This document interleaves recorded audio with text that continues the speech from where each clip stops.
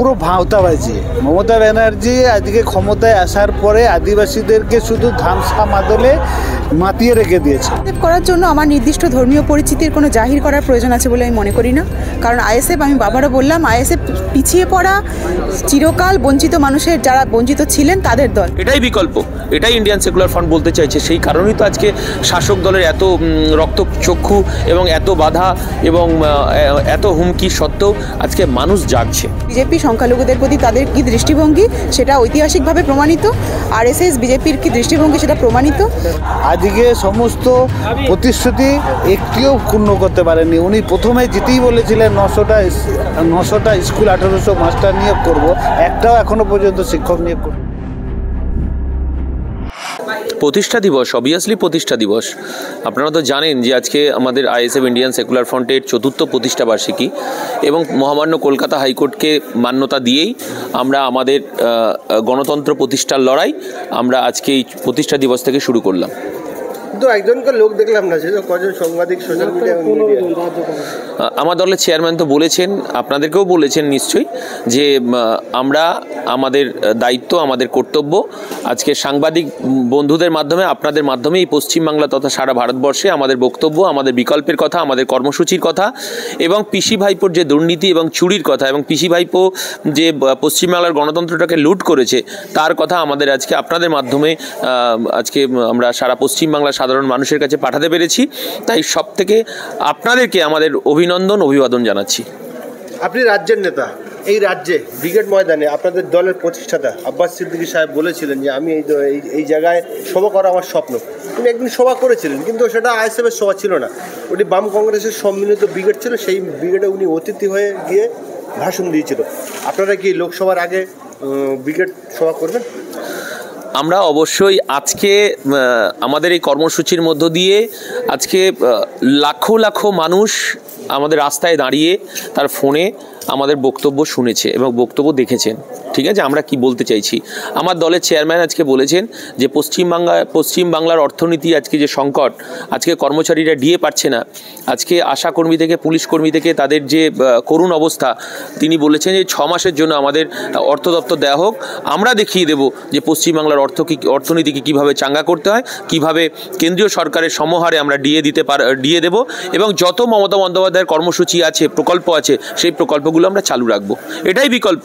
এটাই Indian secular front বলতে চাইছে, সেই কারণেই তো আজকে শাসক দলের এত রক্ত চক্ষু এবং এত বাধা এবং এত হুমকি সত্ত্বেও আজকে মানুষ জাগছে।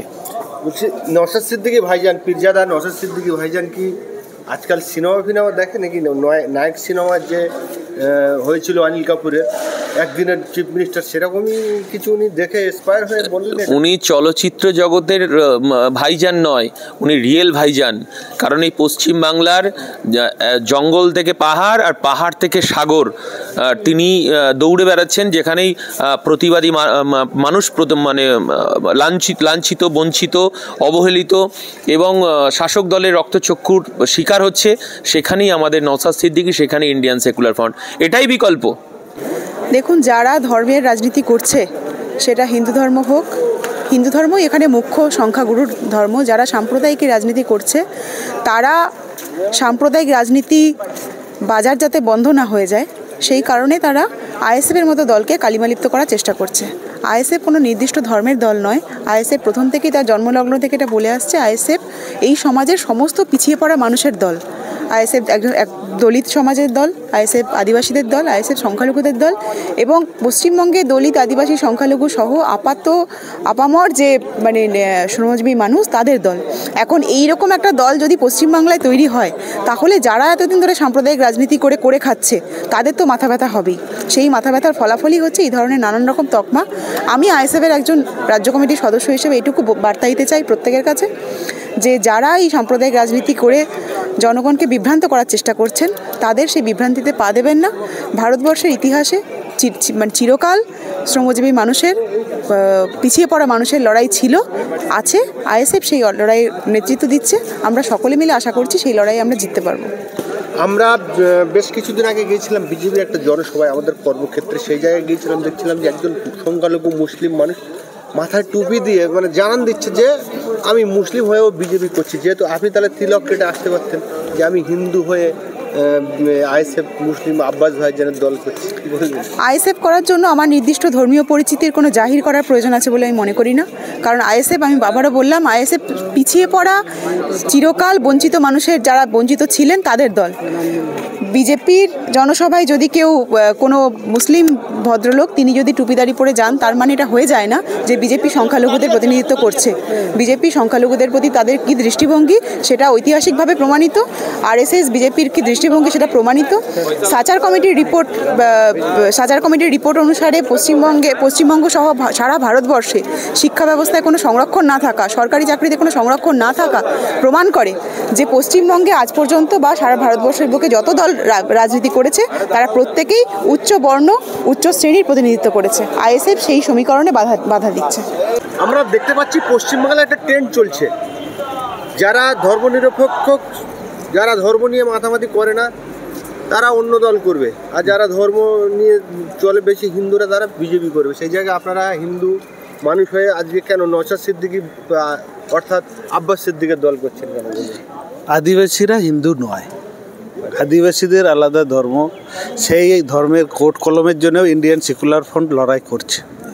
তো আজকে আমাদের আদিবাসীদের যে জল জঙ্গল জমির অধিকার, আদিবাসীদের যে মাতৃভাষার অধিকার, সমস্ত সাংবিধানিক অধিকার থেকে আমরা বঞ্চিত। আজকে আদিবাসী জনপ্রতিনিধি যারা বিভিন্ন রাজনৈতিক দলে আছে, তারা এখনও জঙ্গল ফরেস্ট রাইট অ্যাক্টটাকে শেষ করে দিচ্ছেন এই সরকার। উন্নয়নের নামে পাহাড়কে ধ্বংস করে দিচ্ছেন। তিলাবনী পাহাড় বিদেশি কোম্পানির হাতে তুলে দিচ্ছেন। আমাদের মারাংবুরু সেখানে বিদেশির হাতে তুলে দিচ্ছেন। তাহলে আজকে সেই কারণে যে আমাদের আঠেরো জন বিধায়ককে আমরা ধিৎকার জানাচ্ছি যারা একটি কথাও বলেন না কিন্তু আমাদের সমস্ত অধিকার নেই জন বিধায়ক মানে বুঝতে পারলাম। যারা তৃণমূল এবং বিজেপিতে আছে সংরক্ষিত সিট এসটি সংরক্ষিত সিট আঠারোটা সিট সিট সেই সিট থেকে প্রতিনিধিত্ব করছে। তাদের দায় আছেন আদিবাসীদের জল জঙ্গল জমির অধিকার আদিবাসীদের সার্বিক উন্নয়নের জন্য। তা সেই উন্নয়নের কথা কিন্তু এখনও পর্যন্ত বলে না। সেই কারণে আমাদের ইন্ডিয়ান সেকুলার ফ্রন্টের নসাদ সিদ্দিকী ভাইজান যেহেতু একটা বিধায়ক হয়ে যেখানে অত্যাচার হচ্ছে সেখানে ছুটে যাচ্ছেন যেখানে আমাদের জল জঙ্গল জমির অধিকার খর্ব হচ্ছে সেই কথাগুলো তুলছেন এবং পৃথক শিক্ষা বোর্ড মানে আমাদের সাঁওতালি ভাষায় অলচিকি লিপিতে শিক্ষা পরিকাঠামোর জন্য পৃথক সাঁওতালি শিক্ষা বোর্ড যাতে গঠন হয়, সেই দাবিও তুলছেন। সেই কারণেই আজকে একমাত্র বিকল্প হিসেবে ইন্ডিয়ান সেকুলার ফ্রন্টকে বেছে নিয়েছেন। আমরা এর আগে দেখেছিলাম যে রাজ্যের বর্তমান মুখ্যমন্ত্রী তৎকালীন বিরোধী নেত্রী মমতা বন্দ্যোপাধ্যায়ও বিভিন্ন লোকের বিভিন্ন জায়গায় ছুটে ছাটে যেত। কিন্তু আলটিমেটলি ক্ষমতা আসার পরে দেখতে পাচ্ছি উনি তো পুরো ভাঁওতাবাজি। মমতা ব্যানার্জি আজকে ক্ষমতায় আসার পরে আদিবাসীদেরকে শুধু ধামসা মাদলে মাতিয়ে রেখে দিয়েছেন।